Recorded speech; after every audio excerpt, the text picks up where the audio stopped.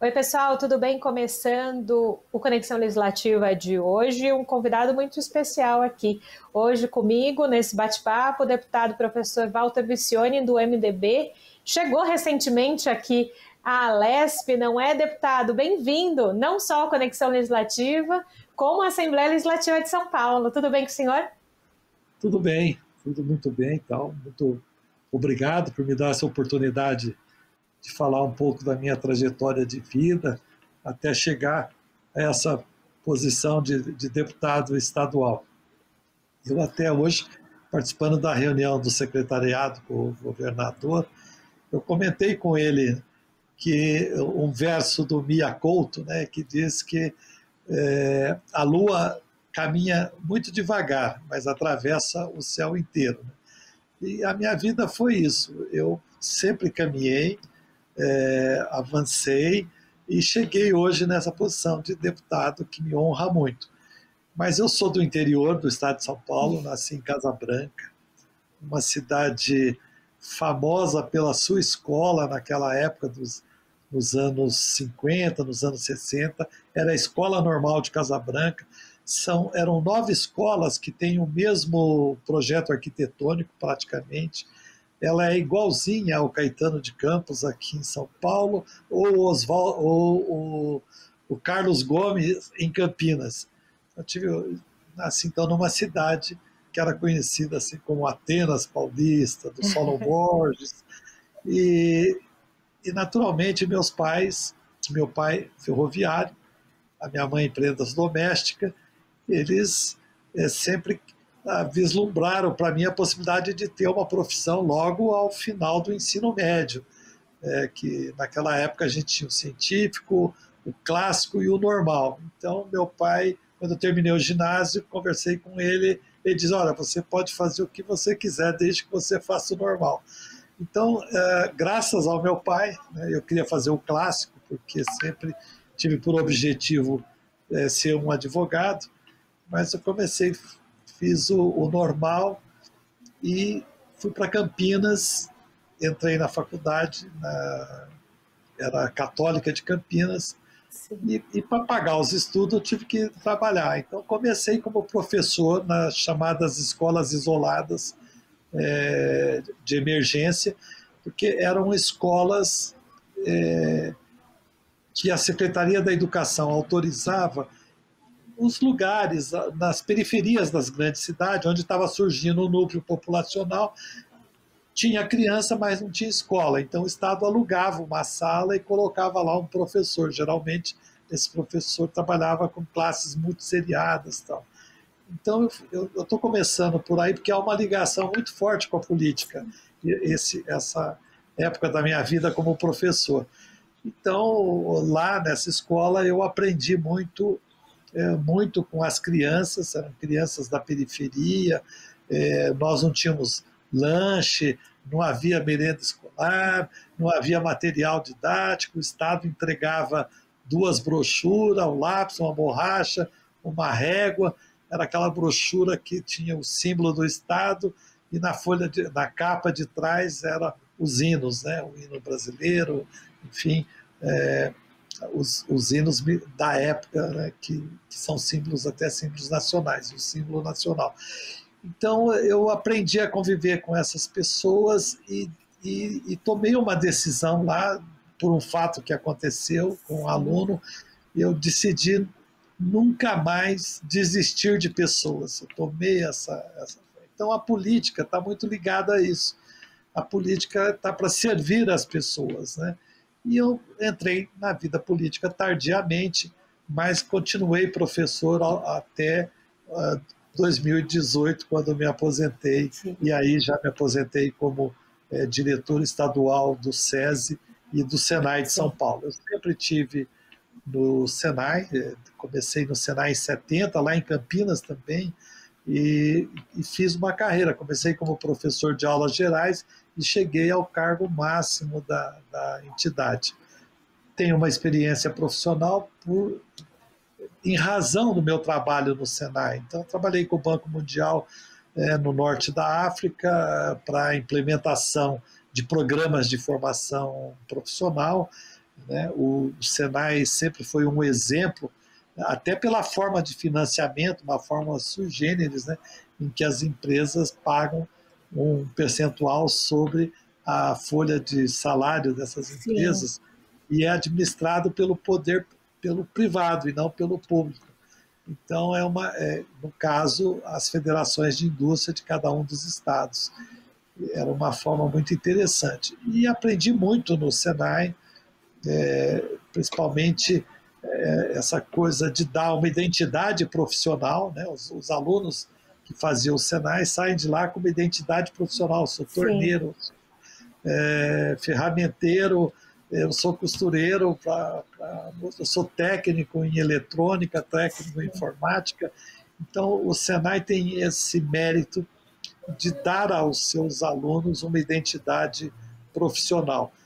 E, ao mesmo tempo, nos últimos é, 12 anos, até 18, 12 anos atrás, considerando o ano marco 2018, eu também passei a dirigir o SESI, a questão da educação básica, principalmente, cultura, é, esporte, lazer, e foi um trabalho bastante árduo, mas é, um trabalho é, que me deu muita alegria, muita satisfação, Sim. ter feito é, evoluir a, a, a, educação básica é, de uma forma bastante ousada, diferente da estrutura e do funcionamento do que é hoje a, geralmente a rede pública e também privada aqui no Estado e no Brasil. Né? Então, adquiri ao longo desse tempo uma experiência enorme no campo da educação e, em especial, da formação profissional.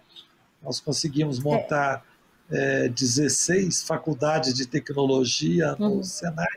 E, por último, eu consegui montar uma escola de formação de professores no SESI, uma escola de educação, faculdade SESI de educação, que é um modelo totalmente distinto do que existe por aí. Primeiro, a formação é por área. E muita gente não acreditava. professor, como é que você vai fazer uma escola em que o, o, professor não sai como professor de geografia, de história, de matemática? Não é o professor por disciplina, é um professor, é. é professor em ciências sociais, é um professor em em ciências da natureza, é um professor, e, portanto, ciências da natureza é uma pessoa que tem que dominar a física, a química, a biologia, né? é um ensino por área, é, professor de matemática e, e um professor é, é de linguagens, né? que aborda Sim. até a educação física. E, e, até me diziam, não existe concurso para professor de ciências da natureza, existe concurso para professor de física. Tal. Sim, não para algo específico. É, eu sempre respondi que, de fato, não tinha ainda nenhuma legislação assim, mas a inovação é isso. Você inova porque, ao inovar, é, você não inova de acordo com uma lei. Você inova você e aí você gera fatos, gera, gera problemas. Sim então eu sempre fui uma pessoa assim de não, não eu não fico esperando encontrar resposta para todos os problemas, senão a gente não faz. Então tem que começar e as respostas a gente acha no meio uh, do caminho, né? Ao caminhar você vai. É isso mesmo. Então a educação para mim sempre foi o meu foco principal, tenho uma paixão enorme por ela. Hoje eu eh, integro o conselho curador da Fundação Arnaldo Vieira de Carvalho, que é a mantenedora da Faculdade de Medicina da Santa Casa, e faço isso com muito orgulho, né? Ah, além de estar na Academia Paulista de Educação, ocupando lá a cadeira pois é, Pois é, deputada, eu gostaria de é, aproveitar com esse gancho, né, dizer que é, em outro momento, enquanto o senhor estava no SESI, acompanhei muito a sua trajetória no SESI, porque à época eu era assessora de imprensa da Etienne Medeiros, uma das maiores é. nadadoras aqui é, no estado de São Paulo, a gente se encontrou em alguns eventos e fico feliz de encontrar. Única, única mulher, mulher campeã. Mundial, né? E mundial. Fico feliz de reencontrar o senhor aqui é, na LESP com essa potência né, de pensamento é, para a educação. O senhor é, faz parte, como, como o senhor disse agora, né, da Academia Paulista de, de Educação, e esse olhar do senhor é, inovador para a educação, é, não só para a educação, mas para outras questões, mas específico para a educação. Hoje, como é que o senhor analisa, depois de tantos meses né, de pandemia, em que a educação pode ser melhor e mais inovadora nesse pós-pandemia que a gente tanto espera? Não, eu acho que a pandemia ela permitiu a gente quebrar uma série de, de barreiras tal, né? E, nunca é, é fácil também implementar grandes projetos em redes tão grandes. O SESI me facilitou muito, porque o SESI, nós éramos 176 escolas, é, 120 mil alunos, então é, era muito mais fácil de você fazer essa gestão. E o SESI, para mim, foi um grande laboratório. Né? Eu sou muito ligado à escola pública, eu gosto, eu fui diretor, me exonerei da escola pública por causa do Senai, né? mas eu acho que a escola pública poderia dar um salto qualitativo muito grande. Muitos projetos que são feitos são excelentes projetos, mesmo no atual governo há coisas muito boas, no caso, por exemplo, do, do Mega, Escola Mega, né? Mega Escola, né? que vai é, propiciar a todos os alunos para cada aluno 100 megabytes é, é, um, é, é uma coisa de país desenvolvido, de, é coisa da Finlândia ter uma distribuição tão generosa de megabytes na internet para os alunos poderem é, usar a tecnologia, que vai facilitar também o trabalho do professor. Mas eu entendo que um dos grandes problemas nossos, isso eu já até escrevi sobre isso. Né? Eu, eu acho que a gente tem um processo ainda muito centralizado. Né? Eu sou da opinião que a gente tem que descontinuar o MEC, por exemplo, ou mudar o papel dele. Já escrevi sobre isso.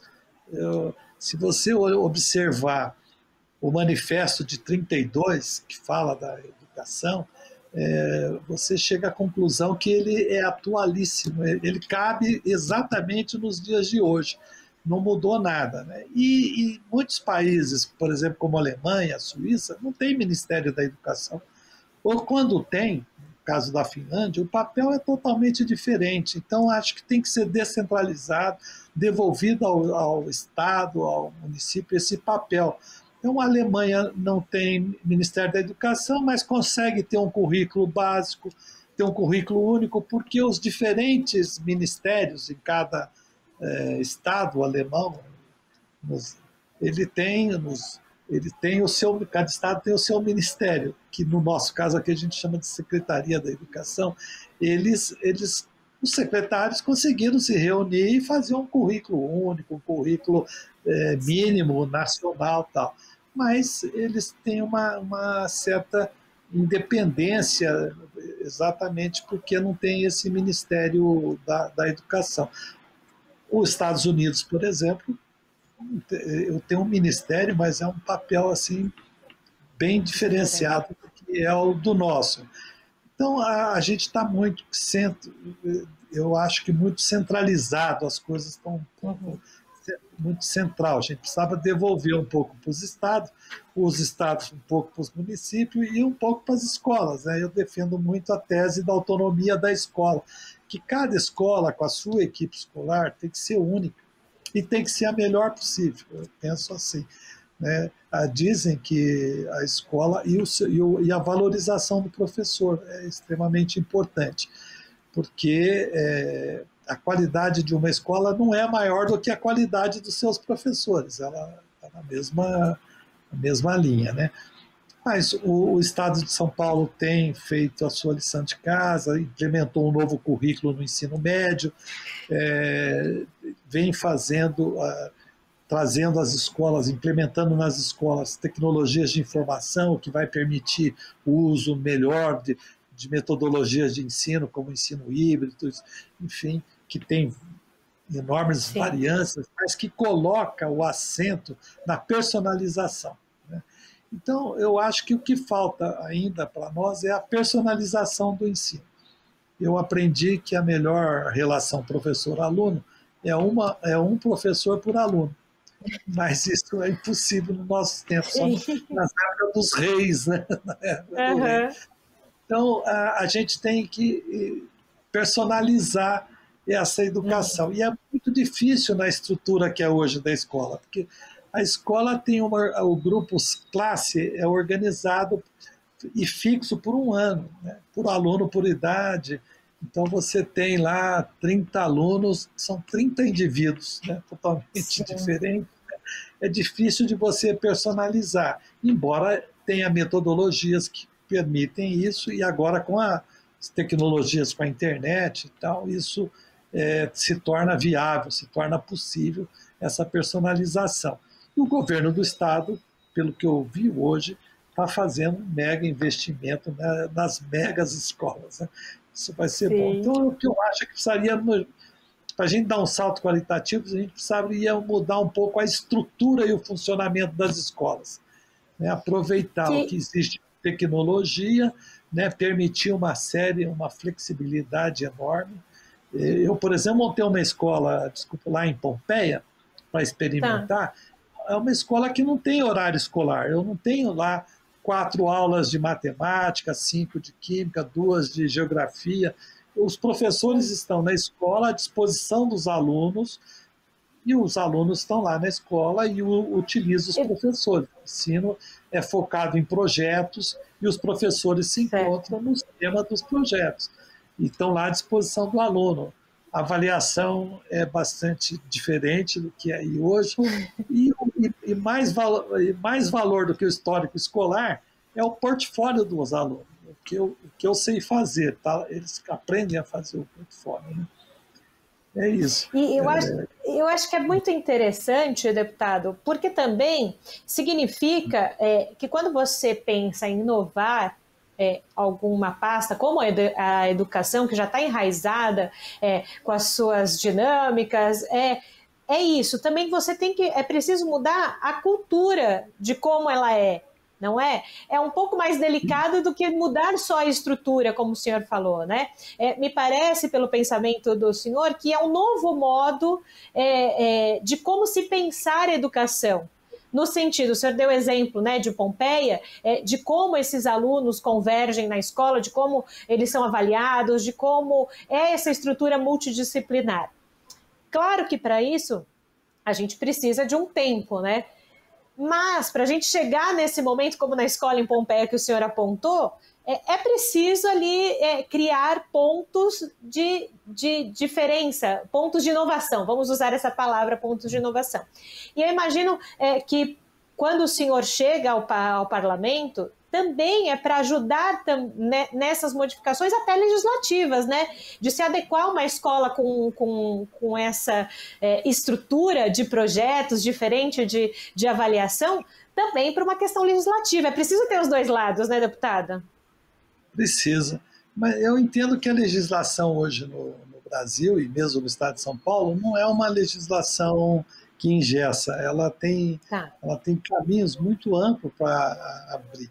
É que a gente tem essa questão da cultura, ela está enraizada, você tem que mexer em costumes, em hábitos que vêm do século passado, né? Que essa forma de organizar a escola em, em grupos grupo classe, é, pela idade, né?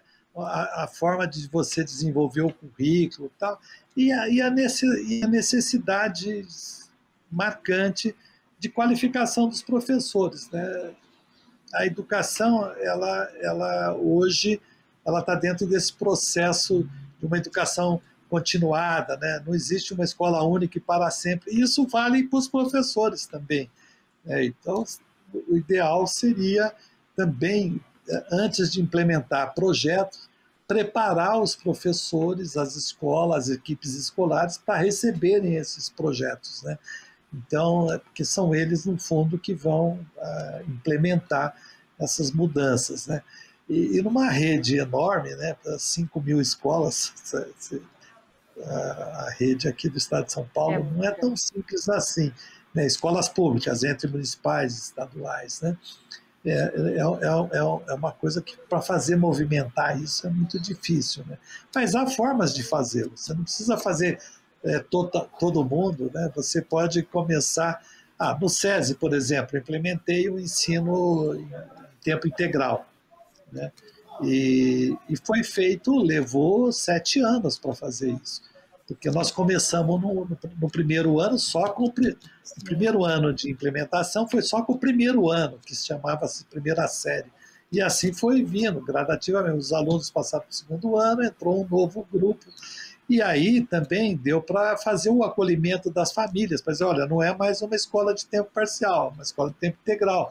Ah, não existe o tempo parcial. Ou, ou, você vai matricular numa escola que vai fazer isso com seu filho, ele vai ficar aqui oito horas. E, então é, uma, é um trabalho que exige muito. Dá para fazer no estado? Eu, eu acho que dá. E, e, tem sido feito muitos esforços. Acho que a educação no estado de São Paulo evoluiu muito, tem bons projetos, sempre teve, excelentes secretários da educação, mas dá para fazer muito mais. É, e eu tenho, não tenho dúvidas, deputado, que o senhor, com, com essa grande experiência na educação, não só aqui no Parlamento Paulista, mas com essa interlocução que o senhor disse né, no início do nosso Conexão Legislativa, dessas conversas com o Executivo, ajudarem muito também a pensar no Estado de São Paulo é, de, uma outra, de uma outra maneira também. Eu vou aproveitar que recentemente o senhor também participou de uma audiência pública aqui no interior de São Paulo, né? É, porque o senhor é do interior, né? E estar nessas audiências no interior, conhecendo as outras regiões, é fundamental para o papel do deputado. É, sem dúvida. E eu preciso aprender, né? Então, foi a primeira vez que eu, na vida que eu acompanhei uma, a comitiva do vice-governador, no caso, Rodrigo Garcia, e de alguns secretários, do Marco Vignoli e tal. Foi Para mim foi um aprendizagem muito rico. E hoje também, ao ser convidado para participar da, reunião do secretariado, eu tive a oportunidade de, de ver como que o nosso governador está fazendo essa governança, é, os projetos que foram relatados, as metas, que posição a, o, esses projetos estão sendo desenvolvidos, né? É, se estão atingindo a meta, se estão, se precisa remodelar.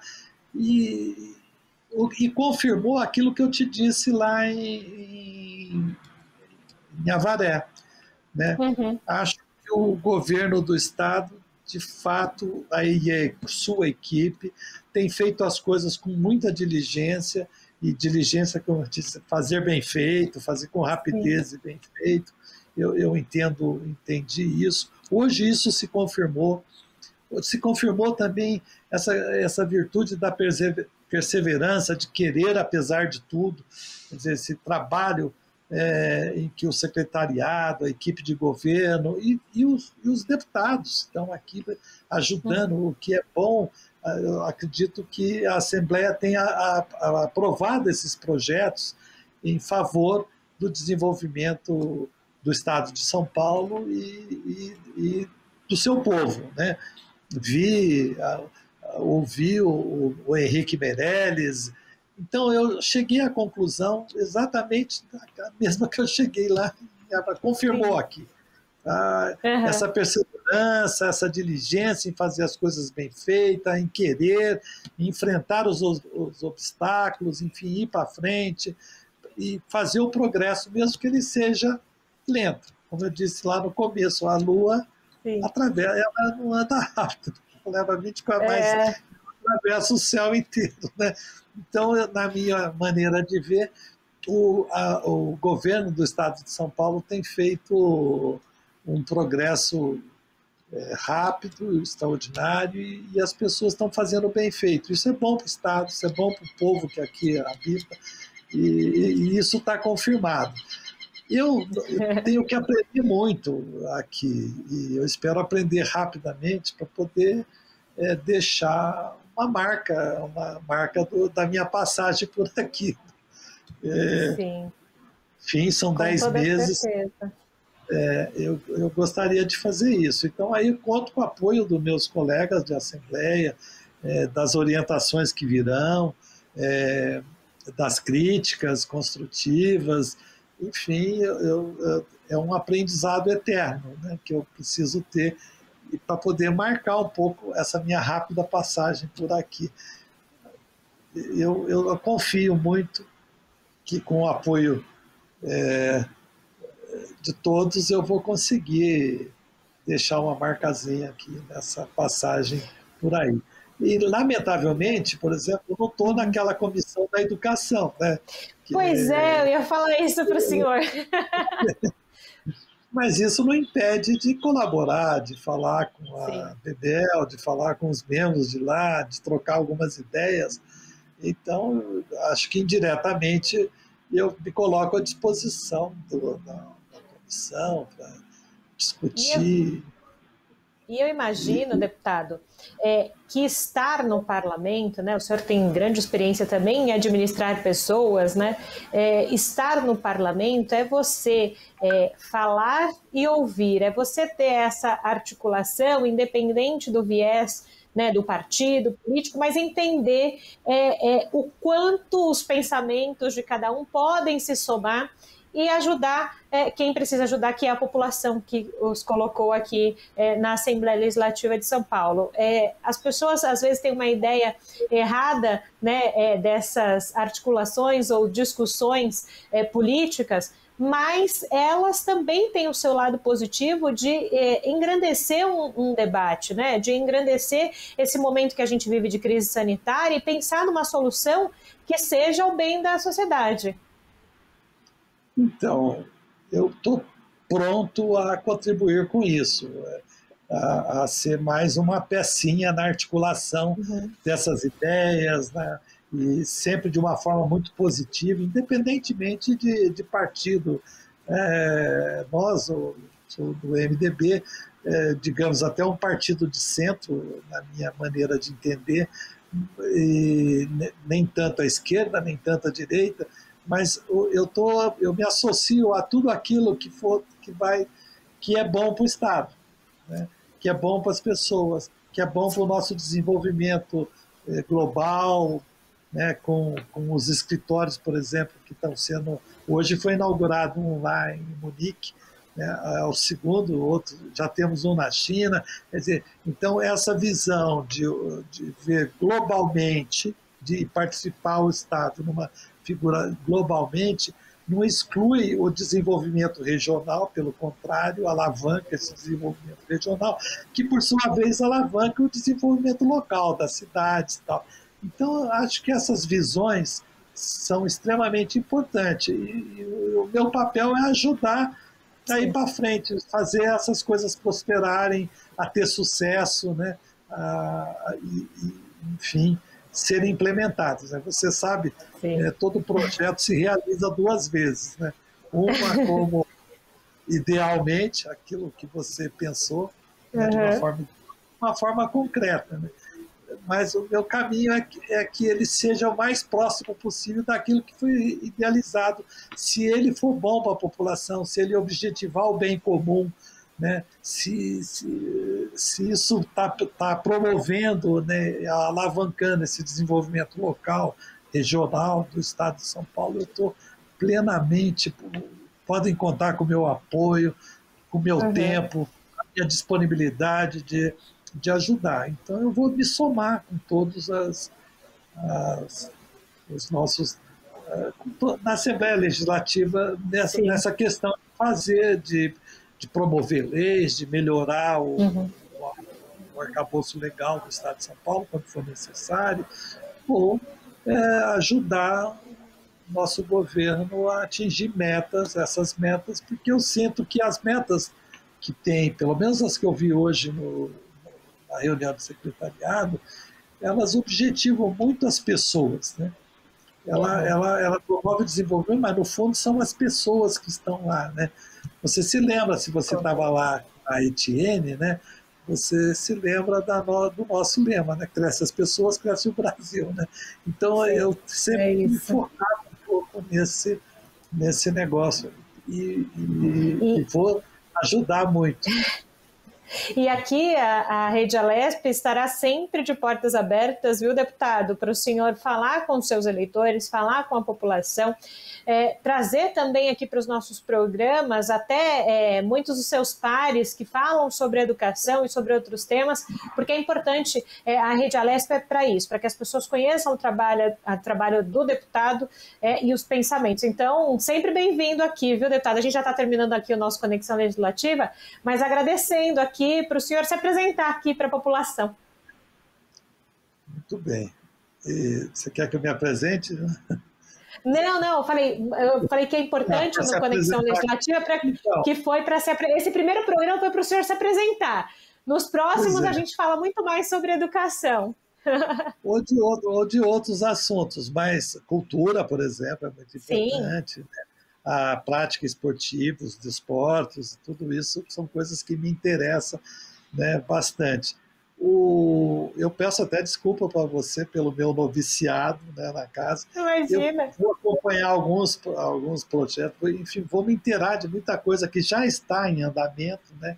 E, e vou pensar em novas coisas que de fato a gente uhum. possa dar um sentido diferente, um sentido é, mais significativo expressivo, né? E, e, vou ter uma participação, assim, vou honrar essa procuração também que meus eleitores me deram por meio do voto, né? E é eu vou contar muito com a TV é, a Leste, porque é uma maneira também da gente prestar contas a quem nos, nos trouxe aqui. Né? pretendo que esse tempo, esse mandato curto, seja muito eficiente e eficaz é, para, é, para a população de São Paulo e para quem nos colocou Sim. aqui também. Né?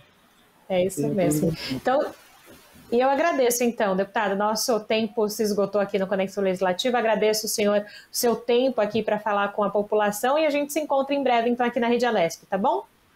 Tá bom, muito obrigado. Um abraço a todos aos ouvintes né, e os telespectadores. Né? Muito obrigado por tudo e, e até breve.